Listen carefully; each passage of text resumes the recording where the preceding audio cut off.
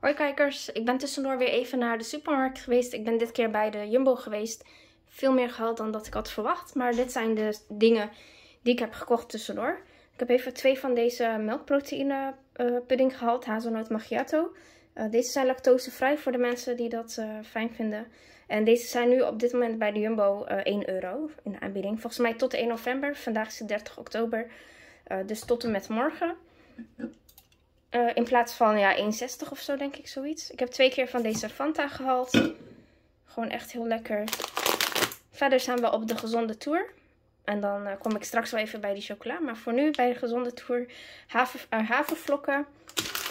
Ik heb hier wilde zang.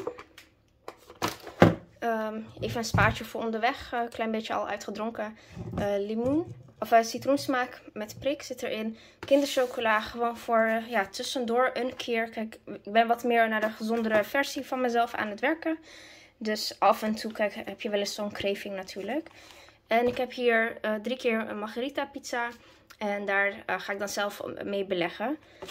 Anders heb je alleen maar kaas en tomatensaus. En verder heb ik deze Hallo Jumbo meegenomen. Vind ik altijd wel leuk om te lezen. En soms hebben ze ook wel leuke inspiratie voor bepaalde recepten. Verder zo'n notenmix. Walnoten. Broccoli rijst.